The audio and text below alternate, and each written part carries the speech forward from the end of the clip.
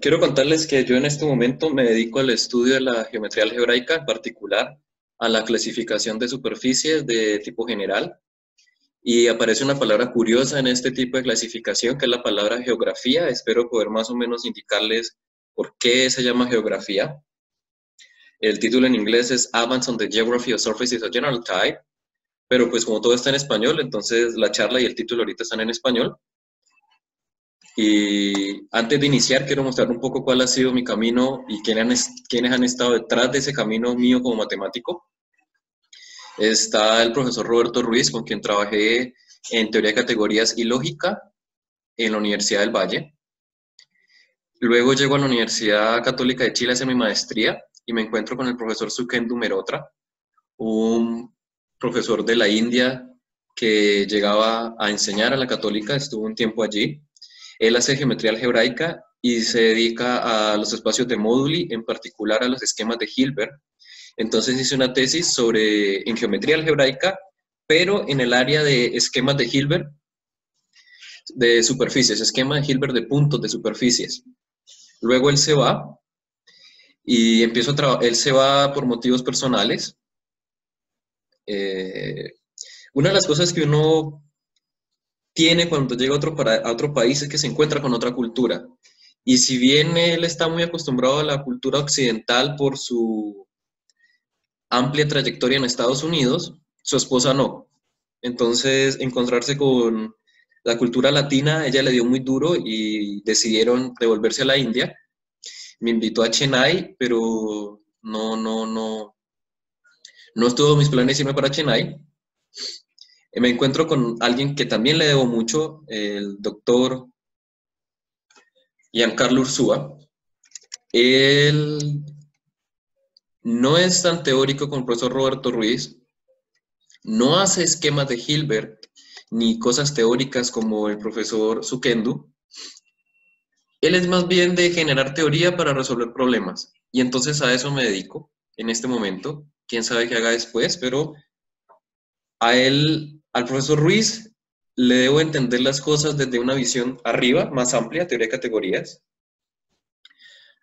Entrarme a la geometría algebraica se lo debo al profesor Sukendo y resolver problemas y entender que untándose las manos también uno hace matemáticas y la amplitud que me dio para estar en Francia seis meses en un laboratorio en Marsella se lo debo al profesor Ursúa. Así que básicamente mi camino ha estado parado a hombros de gigantes, que son estos tres señores a los que les debo bastante. Ahora sí, entrando en materia, más o menos el contenido de lo que va a haber es una pequeña introducción acerca de superficies, lo que significa la clasificación de, superficies, el espacio de módulo de superficies.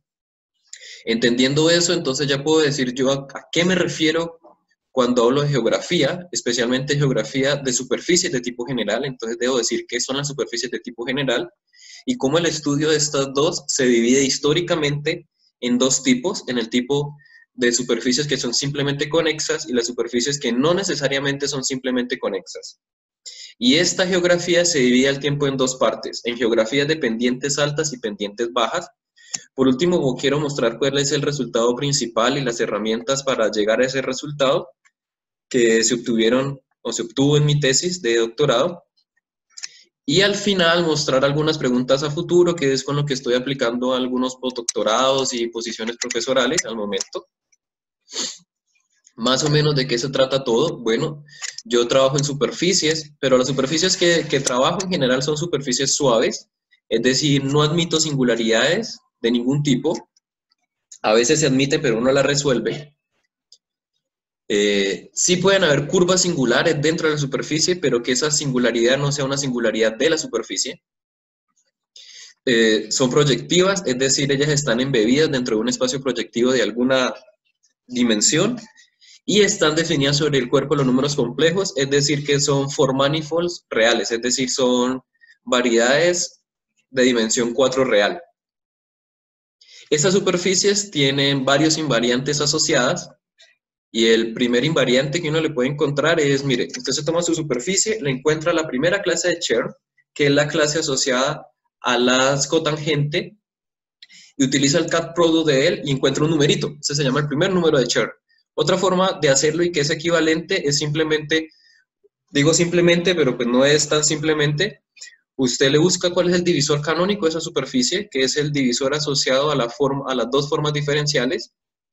Eso le da un divisor y entonces en la superficie uno tiene algo que se llama forma de intersección de curvas y lo puede extender a divisores, lo intersecta y eso le da un número. El segundo número de Chern sería la segunda clase de Chern, que en este caso sería un número porque estamos en dimensión 2 compleja, pero quiero recordarles que por la teoría de Hodge, básicamente ese número es equivalente a la característica Euler topológica, ¿bien? Luego uno puede preguntarse por el género. El género de esto va a ser, mire, usted toma su superficie, mira cuál es el haz estructural, es decir, el haz de las funciones holomorfas, le calcula el segundo grupo de comología y a eso le toma la dimensión. La irregularidad es hacer lo mismo, pero ahora tomar el primer grupo de comología y mirar la dimensión. Y uno puede entonces preguntarse por algo que se llama el plurigénero, y este plurigénero va a ser bastante importante en términos de clasificación. Entonces el plurigénero es tomar la dimensión del cerodécimo grupo de comología del as estructura, del as asociado al divisor, a n veces el divisor canónico. Y por último, uno tiene lo que uno llama la característica de Euler holomorfa, y esta característica pues es 1 menos H1, que es la irregularidad, más H2, que es el género geométrico. ¿Y por qué nos da 1? Porque el H0 en este caso, mire la cantidad de componentes que tiene, y como estamos pidiendo que sea una variedad en el sentido algebraico, y no una cuasi variedad, entonces solamente tiene un componente. ¿Listo? Entonces la característica holomorfa de Euler es 1 menos Q más PG y gracias a la fórmula de Netter para superficies, en el sentido que le estamos trabajando, sabemos que 12 veces esa característica es igual al primer número de Chern más el segundo número de Chern. ¿Eso qué me está diciendo? Eso me está diciendo que podemos nosotros relacionar todos los invariantes a través de esta fórmula, porque este primer número de acá es 1 menos Q más PG, entonces 12 veces 1 menos Q más PG es igual a C1 al cuadrado más C2. Así que ya hay una mezcolancia de números que me van a servir a mí para poder determinar de alguna forma las superficies y para poder decir algo acerca de esas superficies. ¿Bien? Listo. Cuando uno habla de clasificación, uno quisiera algo del siguiente estilo. Cuando yo tengo curvas algebraicas sobre los números complejos, que también son conocidas como las superficies de Riemann compactas, uno sabe que simplemente hay de tres clases. Tiene la esfera de Riemann, que es el plano proyectivo complejo, que tiene género cero porque tiene cero huecos, o al mismo tiempo, uno puede decir que es la racional entre ellas y por tanto tiene dimensión de Kodaira menos infinito, Luego viene la clase de todos los toros, que son las curvas elípticas, y uno sabe que por el J invariante, entonces hay el espacio de módulo grande de eso es A1. Entonces uno ya sabe, si quiere encontrar las curvas elípticas, cómo las encuentra y hay un invariante dado. Y por el otro lado están las curvas o superficies de Riemann de tipo general, que son las que tienen género mayor o igual a 2, entonces son como bitoros, tritoros y n-toros en general, que si bien uno no tiene una forma de entenderlos, uno sabe cosas sobre ese espacio de móduli, y más o menos uno dice, listo, si mi género es tanto, entonces tiene tantos huecos y más o menos es de esta forma. A eso nos referimos con clasificación. Entonces el plurigénero nos va a permitir ver lo siguiente. Podemos dividir en cuatro grandes clases las superficies. si ese plurigénero, que recordemos que era el H0 del, era el H0 chiquito, es decir, la dimensión del cerodécimo grupo de comología, de tensorizar n veces el divisor canónico, siempre nos da cero, eso nos va a decir, mire, su superficie es una superficie eh, reglada, y, por lo y eso se llama que la dimensión de Kodaira es menos infinito. Por otro lado, si ese número en algún momento es 1, entonces vamos a tener que la dimensión de Kodaira es 0. Entre comillas, lo que estamos diciendo es que el crecimiento de ese número es constante. Por otro lado, si ese número crece linealmente en la variable n, entonces la dimensión de Kodaira es 1, porque lo que está midiendo realmente la dimensión de Kodaira es el crecimiento asintótico de ese número, Entonces decimos que la dimensión de Kodaira es 1. Por otro lado, si ese número crece cuadráticamente en n, entonces el crecimiento asintótico es como 2 y por tanto la dimensión de Kodaira es 2. ¿Y eso de qué nos sirve a nosotros? Ah, bueno, antes de eso. Las superficies, pues son superficies y uno dentro de ellas puede tener curvas, pero hay ciertas curvas que son especiales. Son curvas que cuando uno las mira, con, las mira, esas curvas son realmente una línea proyectiva compleja y si yo miro su forma de intersección, es decir, la intersecto con ella misma, me da una autointersección menos 1. ¿Qué significa que tenga autointersección menos 1? Significa que es una curva que, que proviene de hacer blow up en un punto. Es decir, yo tengo una superficie, dentro de esa superficie tengo un punto, lo exploto y lo que va a tener al otro lado es una superficie birracional a la que inicié, pero con una nueva curva que me va a cambiar ese punto por una curva que es como un P1 y que su autointersección es menos 1. Así que yo cada que tenga una curva con una, una superficie con una curva menos 1, sé que proviene de un blow up hacia abajo. Entonces, no voy a estudiar las que tengan curva menos 1 porque sé cómo eliminarlas, me restringo a las que no tienen curva menos 1 y a esas curvas, a esas superficies que no tengan curva menos 1, somos las a las que llamamos superficies minimales.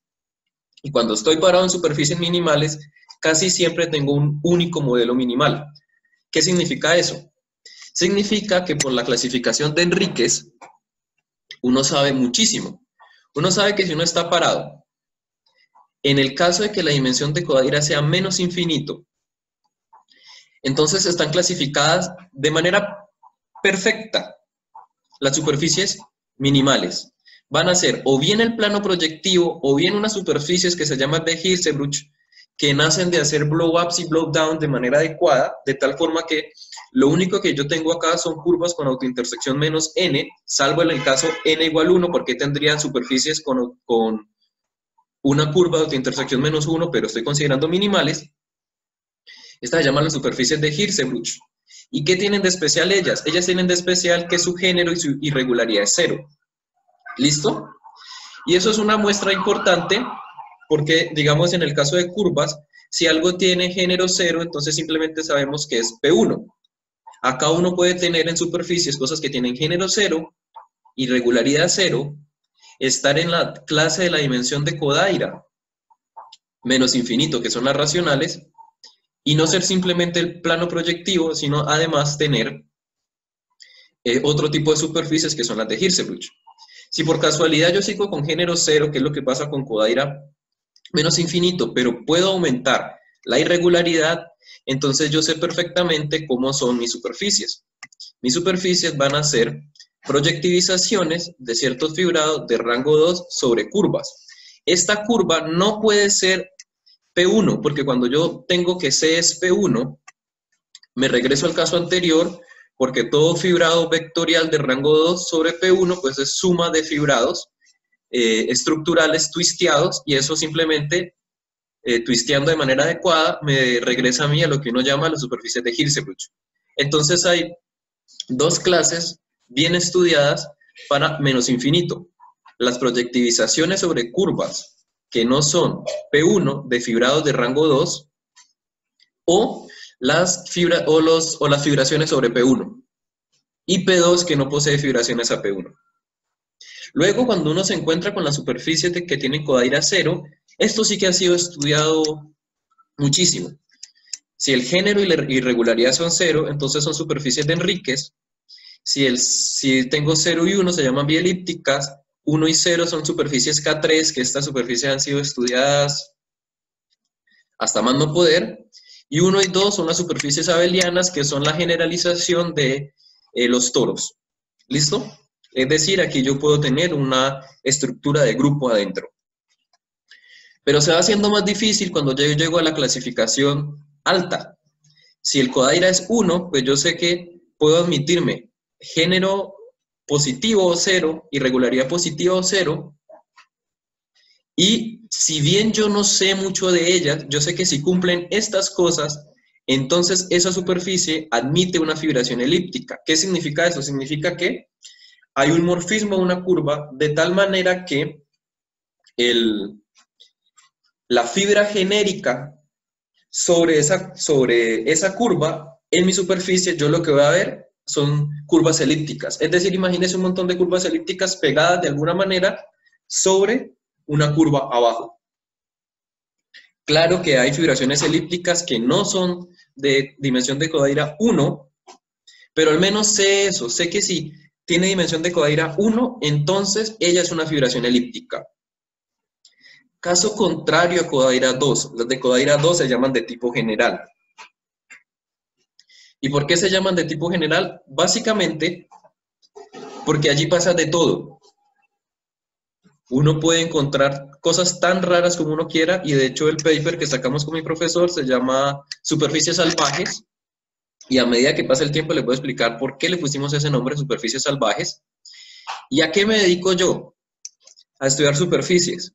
Si bien en el momento estoy estudiando superficies que son fibraciones elípticas, a lo que me he dedicado en más tiempo es a entender las superficies de tipo general. Y cuando uno quiere entender las superficies de tipo general, entonces lo primero que uno se hace es decir, bueno, ¿será que hay un espacio donde yo puedo meter a todas las superficies de tipo general que cumplan cierta característica y cocientar eso bajo un isomorfismo? Por ejemplo, cuando yo tengo el plano proyectivo, yo sé que el plano proyectivo lo que está haciendo es parametrizándome las líneas, y eso es un espacio de móduli. Entonces, hay un espacio de móduli que, dado ciertos invariantes, es capaz de darme cuenta por cada punto de ese espacio una superficie y solo una superficie módulo isomorfismo que cumplan, que tiene esos, esos invariantes dados? La respuesta es que sí, no la doy yo, la dio en 1977 el matemático Gieseker, que demuestra que ese espacio existe y además es una variedad cuasi proyectiva con la propiedad que tiene una cantidad finita de componentes. Es decir, solamente, o sea, es cuasi proyectiva, por lo tanto, yo puedo pensar no simplemente que es una variedad, sino que es un pedazo de variedades que está pegado de alguna forma.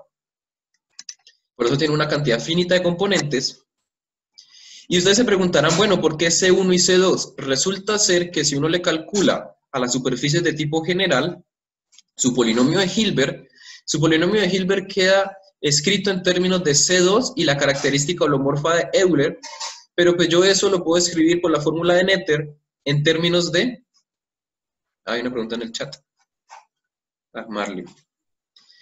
Eh, por la, por la fórmula de Netter, yo sé que puedo cambiar la característica de Euler holomorfa para que me aparezca el C1 y el C2. Así que las cosas que van a ser de género, como hacía en la curva, en las curvas teníamos el género, nos determinaba muchas cosas, aquí lo que nos van a determinar muchas cosas van a ser C1 y C2. ¿Listo? Entonces, ¿qué tenemos, por ejemplo? Tenemos que cuando nosotros fijamos que la primera clase de churn sea 1 y C2 sea 11, y noten que C1 más 11 es 12, y eso, y eso tiene que pasar porque 12 veces Ki es C1 más C2, que de hecho esta es la combinación más pequeña de números que aparece, uno puede mostrar que esta, este espacio de móduli es distinto de vacío, porque, por ejemplo, la superficie de Godot, que ya la voy a, a mostrar cómo se construye, pertenece allí, y para este caso en particular, se conjetura que ese espacio tiene cinco componentes y en cada componente las superficies tienen solamente un tipo de grupo fundamental. Hasta ahora, mi profesor y unos colaboradores coreanos han encontrado eso para Z5, Z4, Z3, lo conjeturan para Z2 y todavía no saben muy bien cómo hacer el caso con grupo fundamental trivial. La superficie de Godot es muy simple. Usted tómese la quíntica de Fermat, x0 a la 5 más x1 a la 5 más x2 a la 5 más x3 a la 5, igual a 0, aquí me faltó hacerle igualar a 0. Eso simplemente me queda una superficie de tipo general en P3. Luego usted se considera el automorfismo dado.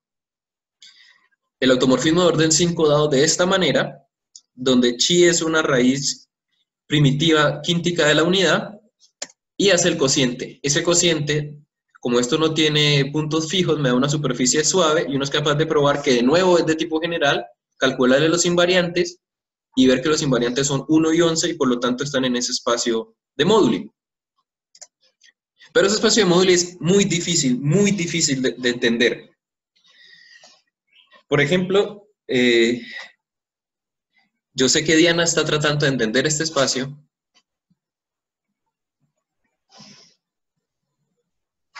¿Me quedé sin audio? Eh, yo te escucho. No, ah, Listo. Entonces, este espacio es bien difícil de entender y hay dos cosas que uno se puede preguntar. La pregunta más fácil es, ¿para qué valores de C1 y C2 ese espacio es distinto de vacío? Y la segunda cosa que uno se puede preguntar es cómo describir es cómo describir ese espacio. Es decir, dado ese espacio, entonces preguntarme de qué manera yo puedo, yo puedo encontrarle un grupo fundamental a ese espacio, eh, ver si es cuasi proyectivo pero embebido en alguna parte. Esas cosas, esa cosa es muy difícil. De hecho, preguntarse si es distinto de vacío ya es muy difícil. Y la primera pregunta, preguntarse para qué valores de C1 cuadrado y C2, ese espacio no vacío, es lo que llamamos problema de geografía. ¿Y por qué se llama problema de geografía? Porque si uno hace una recopilación de teoremas, que es el teorema de Castelnovo, el teorema de Netter, padre, y el teorema de Bogomolov, Yao Callao, que dicen que cuando yo estoy parado en superficies de tipo minimal, que son de tipo general, que son minimales, entonces el C1 al cuadrado y el C2 siempre son mayores o iguales que 1. Además se cumple esta desigualdad que 1 sobre 5, C2 menos 36, está a cota por debajo a C1 al cuadrado y la que más me gusta, que es la de Bogomolo, Millao, Callao, que dice que C1 al cuadrado está acotado por 3 veces C2. Así que uno tiene este dibujito. Si uno piensa que este es el plano Z cruz Z, entonces, el espacio en rosado, que está determinado de aquí para arriba, estas líneas que van así en diagonal, es porque además tiene que cumplirse que, 12, que C1 cuadrado más C2 sea congruente con 0 módulo 12, por la primera fórmula de Nether. Entonces está acotado por la línea de Bogomolov Millao Callao, por la línea de Nether y por la positividad, tenemos este espacio. Entonces unos coreanos y mi asesor han dicho que la parte de afuera es como el mar, en donde no hay nada, la parte de adentro es la tierra, en donde uno podría entonces buscar esas posibles superficies. Es decir, cada uno de esos punticos son como X de un pirata que quiere ver si para ese numerito dado existe o no un tesoro. Yo más bien lo pienso como árboles, porque yo después voy a mostrar qué tan denso está este espacio qué tan denso yo me puedo mover en ese espacio. Entonces se llama región de geografía o problema de geografía porque lo han pensado en esos términos. Pero la primera persona que acuñó el término geografía es Ulf Persson, que ya vamos a hablar de él. Y vamos a ver un poco que irse punto por punto, pues es una labor tediosa, complicada. Entonces lo que uno va a hacer es tomarse uno cuadrado partido C2 esa es la pendiente, vamos a llamarle la pendiente de churn, y ese numerito asintóticamente, pues va a pertenecer entre un quinto y 3. Obviamente, por ese menos 36 hay como un desfase, pero pues asintóticamente vive entre un quinto y 3. Pearson, que fue la primera persona en hablar de geografía y colocarle ese término, demostró en el 81 lo siguiente, mire, si usted se toma dos números enteros y positivos que cumplen la desigualdad de Nether y casi la de Bogomolov y Yao Callao, porque no alcanza el 3 sino el 2, con un par de casos que no se cumplen, entonces usted es capaz de encontrar una superficie minimal y de tipo general, tal que el primer número de Chern es el entero que usted escoge y el segundo número de Chern es el entero X que usted escoge que además cumple lo siguiente, es una cierta figuración de género 2, vamos a pasar eso un momento por alto, pero que además son simplemente conexas. Entonces, asintóticamente, él encontró densidad de las pendientes de Chern entre un quinto y 2 para superficies simplemente conexas. Bien, entonces, tengamos en la cabeza, Chern introduce el término en el 81 y de una vez demuestra lo siguiente. Hay densidad de las pendientes de Chern entre un quinto y dos para superficies que tienen grupo fundamental trivial. Eso fue un resultado increíble. Y empieza a estar en el aire desde el 77 una pregunta de Bogomolov que él decía, mire, si usted tiene una superficie minimal de tipo general con grupo fundamental trivial, entonces esa pendiente de Cher no puede superar el número 2. Y Pearson demuestra que cierto tipo de superficies, que se llaman superficies de intersección completa, que básicamente es que usted tiene un plano y empieza a intersectar hiperplanos hasta que, hasta que la dimensión de lo que usted está intersectando sea 2, pero la cantidad de cosas que usted está intersectando son R, siempre que usted está en un espacio de dimensión R más 2, es decir, la dimensión va bajando de manera adecuada, va a suceder que ese numerito tampoco va a superar el 2. Entonces queda la pregunta, ¿será que yo soy capaz de encontrar densidad hasta 3? Porque yo sé que Bogomoló, Millao, Callao llega a 3. Pues Chen, un chino, muestra algo muy parecido a lo de Pearson, pero mejora las cosas porque voy a hacerles un favor. Esos números 352 partidos 7, 16 y 18.644 divididos en 1904 salvo unas constantes que asintóticamente no importan mucho porque no crecen, dado que esto es un 2 tercio, y x es positivo y c muy grande. Entonces, esos numeritos asintóticamente están entre un quinto, que es mayor, entre 0.5, que es mayor que un quinto, y superan el 2 de lo que creía Bogomolov, porque él encuentra que uno es capaz de encontrar densidad en este espacio para superficies minimales de tipo general con grupo fundamental trivial. ¿Listo? Pero ya por allá en el 2010, mi profesor haciendo su tesis de doctorado, encuentra unas superficies de tipo general simplemente conexas que se aproximan asintóticamente a 2.730796, que es un poquito más grande que lo que había. Entonces empieza a ver la pregunta en el aire. Bueno, si yo encontré una sucesión que llega a ese número, quizás no hay densidad, eso es verdad, pero pues voy acercándome, hay como puntos de acumulación por encima de dos y cada vez encuentro más grandes. ¿Será que lo puedo superar? Y entonces él con su colaborador, Xavier Rollo, de la Universidad de Marsella, eh, demuestran en el 2015 que entre el número 1 y 3 hay densidad de esas pendientes de Chern para superficies simplemente conexas. Es decir, que para todo R entre 1 y 3 hay una superficie minimal de tipo general con grupo fundamental trivial, tal que su pendiente de Chern está epsilon cercano a R para todo epsilon. ¿Bien? Así que si uno pega lo que hizo Pearson en el 81, lo que hizo Chen en el 87 y lo que hizo Golo y Ursúa en el 2015, uno tiene un teorema general que dice, mire, si usted toma un número R entre, entre un quinto y tres, entonces es capaz de encontrar una superficie minimal de tipo general que llena densamente el espacio, que llena densamente ese espacio. Eso significa que la geografía lineal está hecha, porque recordemos que asintóticamente esas pendientes siempre están entre un quinto y tres. Así que cuando yo voy donde mi asesor, después de haber descartado un problema porque no salió, me dice, yo tengo esta cosa, pero nosotros lo hicimos para superficies simplemente conexas. ¿Será que somos capaces de hacer eso para otro tipo de superficies? Y pues uno muy entusiasmado le dice, hágale. Y uno se dice, bueno, si yo fijo un grupo fundamental distinto, que no sea trivial, ¿qué puedo decir yo sobre las pendientes de Cher?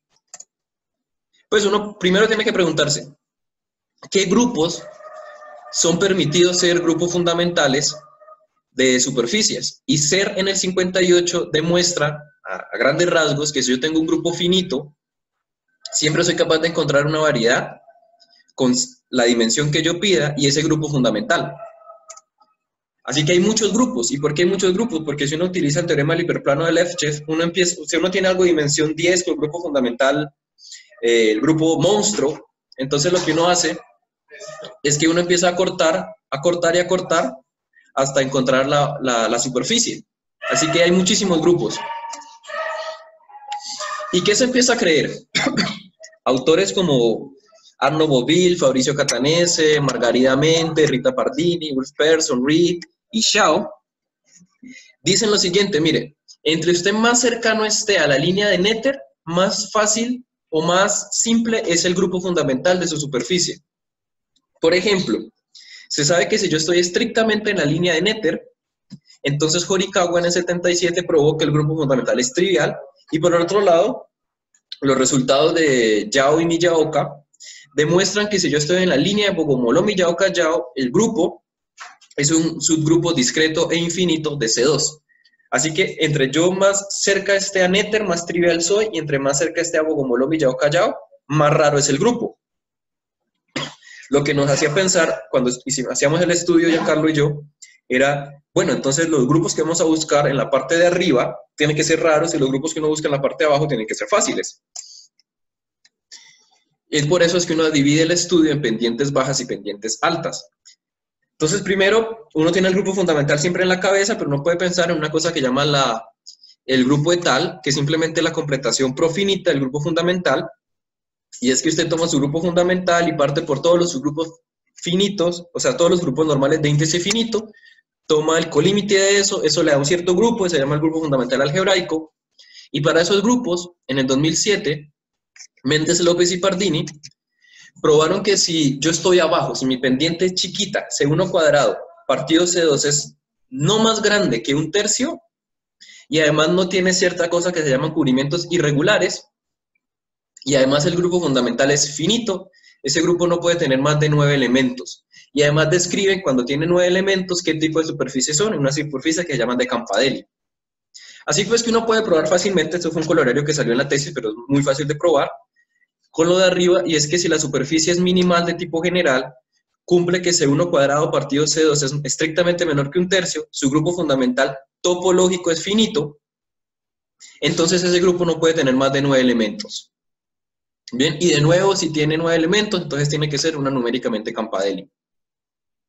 Por otro lado, Miles Reed tiene lo siguiente. Miles Reed dice, mire, si usted se mueve un poquito más, ya no hasta un tercio, sino hasta un medio estrictamente, entonces o el grupo fundamental es finito o es conmensurable al de una curva. Eso quiere decir que hay cierto cubrimiento de mi superficie que me da una fibración o una curva, de tal manera que tengo un kernel que es finito. Eso significa que sea conmensurable de una curva.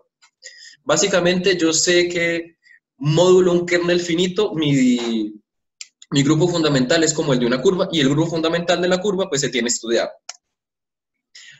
Ahora, un teorema de recopilación de Reed, cosas que hizo Chao, Pardini Keum, pues sabemos que la conjetura de Reed, que era lo que él estaba diciendo antes, es cierta para el caso de tal, si yo estoy menor que un tercio, la conjetura de Reed es verdad si la superficie tiene irregularidad cero, es decir, perdón, tiene irregularidad positiva, es decir, ese Q que mostraba al principio es distinto de cero, y eso se debe a las consecuencias de la desigualdad de Severi, que es una desigualdad muy bonita que prueba Rita Pardini, y un teorema muy complicado que dice que ese K que aparece ahí para ese caso o es trivial o es Z2, o sea, Z partido 2Z, que hace Chao.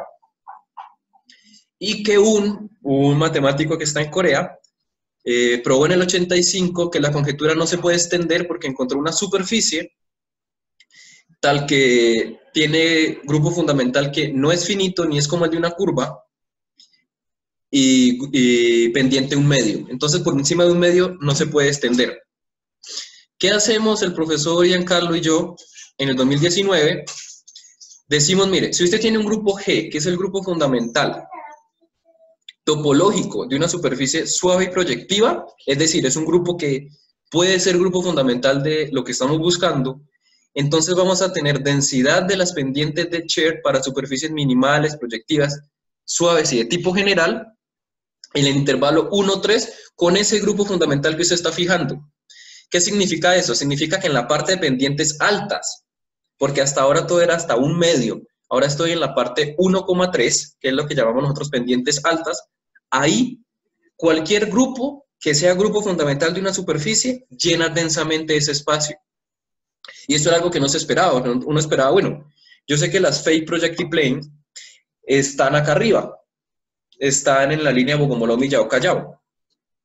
¿Será que entonces cuando yo subo muy arriba tienen que ser muy raros los grupos? Esto me está diciendo, no, mire, usted tómese cualquier grupo, tómese un grupo finito, pero tan raro como usted se imagine, o tan simple como usted quiera, usted es capaz de llenar ese espacio densamente entre 1 y 3. En cambio, entre un quinto y un medio, ahí los grupos sí están acotados y son bien difíciles de estudiar. Así que nosotros ahora tenemos algo que llamamos geografía lineal y la tenemos de esta manera. Entre un quinto y tres está lo que hacen eh, Margarida Méndez y Rita Pardini. Acá los grupos fundamentales son finitos y tienen a lo más nueve elementos. Luego está la conjetura de Rit entre un quinto y un medio, que dice los grupos fundamentales. O son finitos o son como el de una curva. Luego está, acá está lo que hice yo y Ursúa, que dice, mire, si un, grupo, si un grupo se puede ser grupo de una variedad, llena densamente este espacio. Y luego está la zona postdoctoral de Sergio, que es la zona desconocida. Acá es donde pienso trabajar yo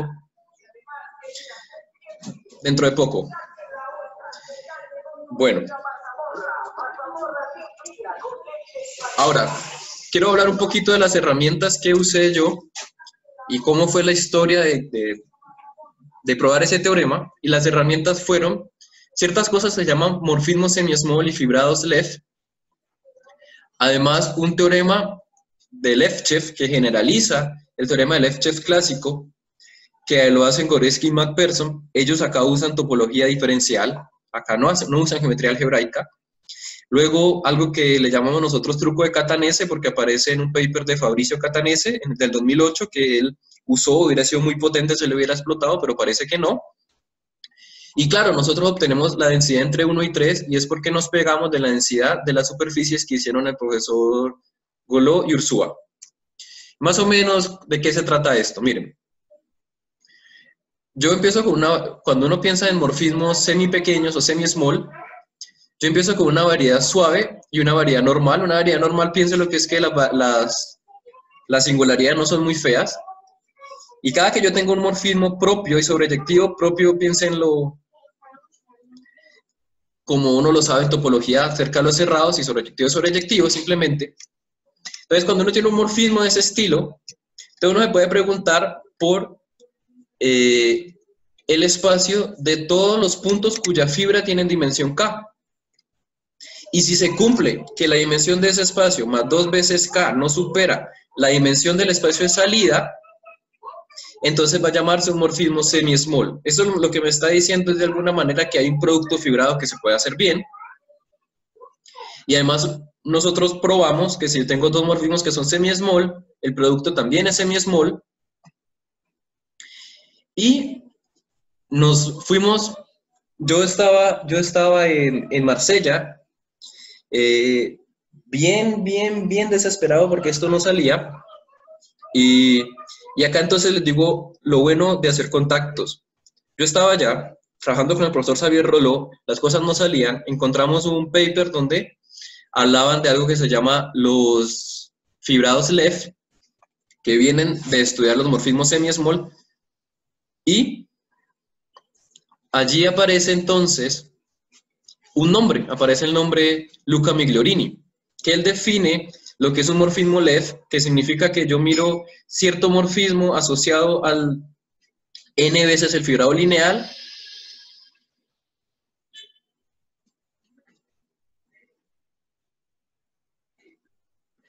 Perdón.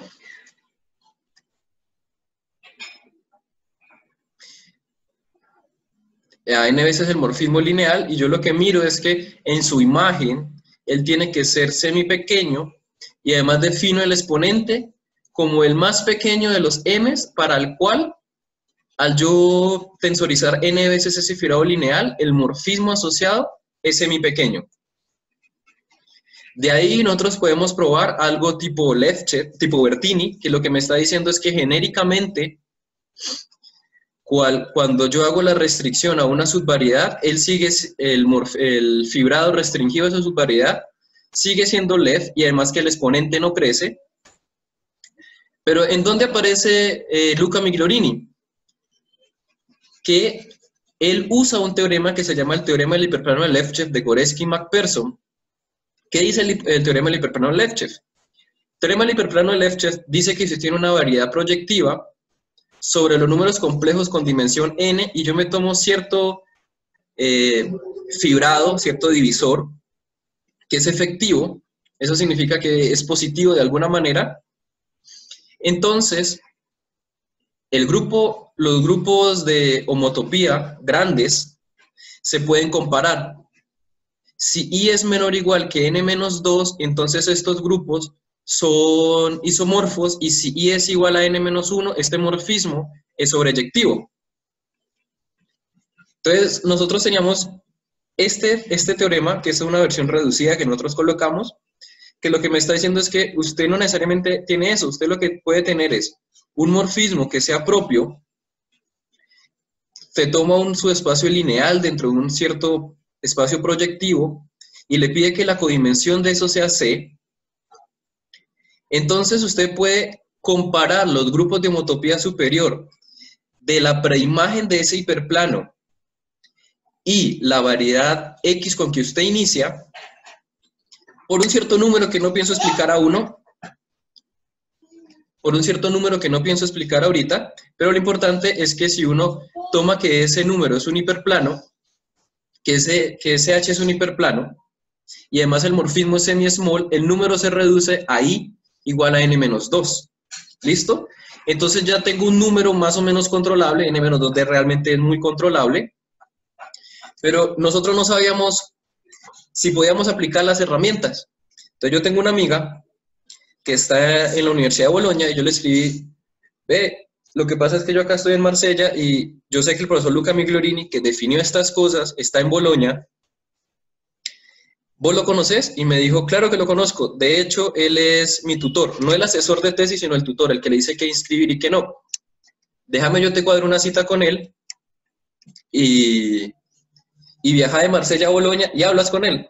Entonces yo tomé un avión, fui donde él, hablé con él y me dijo, sí, lo que están haciendo está bien y de hecho es bonito ver que esta teoría que tengo yo por acá tirada utilizando cosas de la topología diferencial se puede aplicar de esta manera a la geometría algebraica.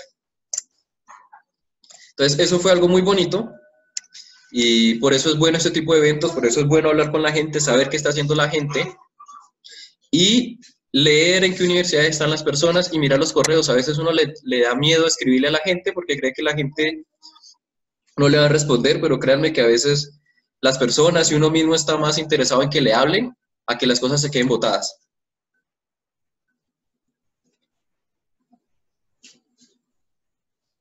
Bueno, vale.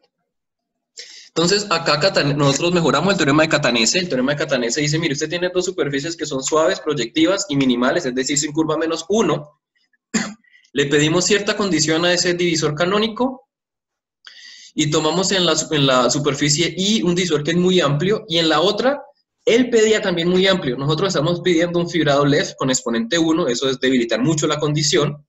Entonces somos capaces de encontrar una superficie suave dentro de ese producto que es un forfol como esto tiene dimensión 4 y esta superficie S que vamos a encontrar es una intersección completa, es decir, lo hemos bajado de dimensión 2, por los teoremas de antes podemos comparar las, los grupos de homotopía, entonces tenemos que el grupo de homotopía de S es precisamente el grupo de homotopía del producto.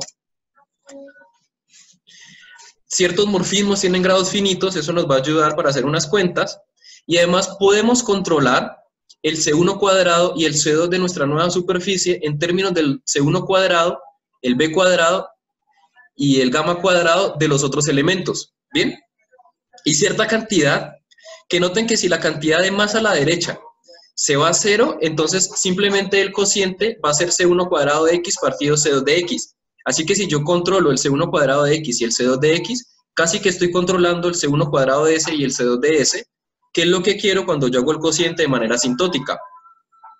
Y ahora, además nos sale que el divisor canónico es BIF, BIG y es NEF. Eso nos está diciendo el BIG, que es de tipo general, y el NEF, que es minimal. Las superficies que nosotros usamos son las superficies que crearon Rollo y Ursúa, que miren, nos están diciendo, si usted toma X, en el caso anterior como XP, que está indexada por cada uno de los primos, este numerito de acá crece como P a la 5, y términos de orden chico y términos de orden chico, entonces este cociente realmente queda dependiendo de alfa, de beta. Así que si usted controla esos números, sabe eso asintóticamente dónde se va y de hecho es de esa la manera de ellos tirar ese número P a infinito y les queda esta función que si uno mira que hace x igual a 0, entonces me queda 8 sobre 8 que es 1 y si hace x a infinito me queda 3 y por eso tiene una la densidad. Uno juega simplemente con que una función continua en ese espacio. Así que pegando todas las cosas, pegándonos que sabemos controlar esos números, que podemos es, escribir la superficie, porque, porque utilizamos el truco de Catanese y además de eso somos nosotros capaces de controlar esos grupos de homotopía por los trabajos de Luca Migliorini, de Cataldo y toda esa gente. Entonces, juntamos todo eso, hacemos un montón de cuentas y somos capaces de mirar ya no la superficie X, sino la superficie Y, porque si tomamos la superficie X como XP, pero cada una de ese XP tiene grupo fundamental trivial, entonces, por el punto 1 que acaba de mostrar, el grupo fundamental que se rescata es el de la segunda variedad.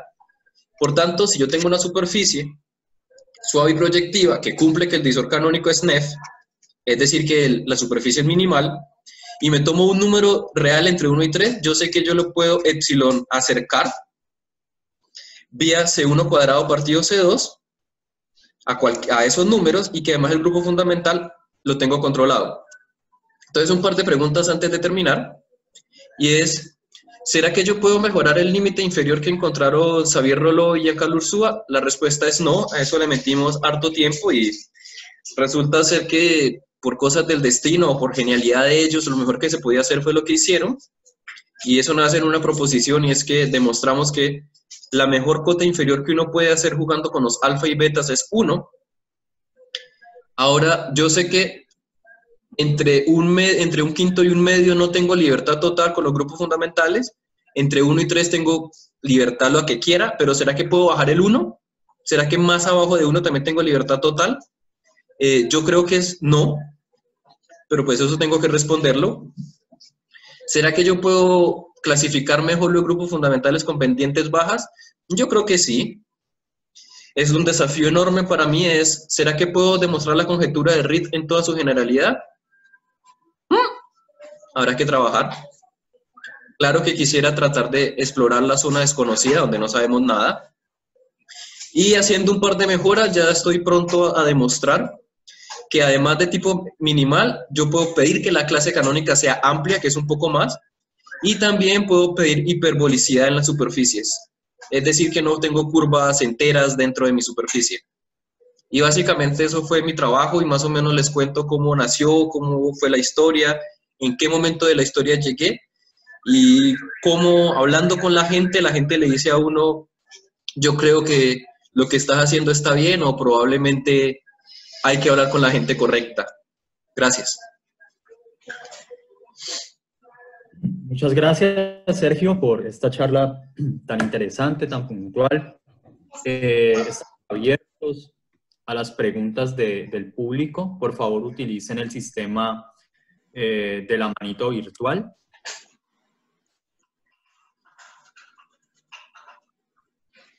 ¿Preguntas? Bueno, mientras las personas eh, hacen su pregunta, yo quisiera, yo quisiera hacer una por mí mismo, Sergio. Eh, solo tengo una curiosidad, no sé qué tan relevante sea, pero para superficies de tipo general eh, con estructura spin, el teorema de Ursúa-Roló también considera densidad, ¿cierto? Entre 2 y 3. En el caso de tu, en el caso de tu teorema, pues de, de tu resultado entre, entre 1 y 3, eh, también se puede considerar las superficies eh, de tipo general con estructuras de spin o no? Eh, lastimosamente, lastimosamente no tanto, porque, o sea, déjame, yo te llevo a la página. Control L. Control L. Porque claro, para tener estructura de spin, yo lo que necesito es que el divisor canónico sea divisible por 2. Y yo calculo el divisor canónico, en algún lado tengo el divisor canónico. Eh, bueno, quizás acá no aparece el divisor canónico porque no lo escribí. Pero cuando uno mira el divisor canónico, me aparecen dos componentes. Me aparece la componente de X, que yo puedo pegarme del hecho que las de ellas son spin, y la de Y. Pero pues yo no sé si la de Y sea spin o no, entonces me aparece una parte que no puedo dividir por dos necesariamente. Excelente. Excelente. Plinio me va a preguntar algo. Plinio. Plinio, puedes eh, hacer la pregunta a Sergio. Sí, tengo una, curiosidad. Ah, vos mencionaste, bueno, estás trabajando en superficies, son superficies de dimensión 2 compleja, entonces en dimensión real 4. Mencionaste de curvas, que bueno, son curvas de dimensión 1 compleja, entonces terminan siendo superficies ¿no? reales, dimensión 2. ¿Hay alguna forma algebraica, o digamos en lo que ah, hayas visto, trabajado, de detectar las curvas de dimensión 1 reales? en ese tipo de superficies? No, no, no, no sé cómo detectar cosas que no sean complejas. Eh, Gracias, profe Ruiz. Preguntas para Sergio. Eh, mientras tanto, de nuevo tengo una pregunta. Eh, ¿Cambia mucho el, grupo fundamental de las estructuras si uno considera la estructura de spin sobre la superficie de tipo general? Eh, al, menos, al menos para el caso simplemente conexo no, porque ya hay densidad.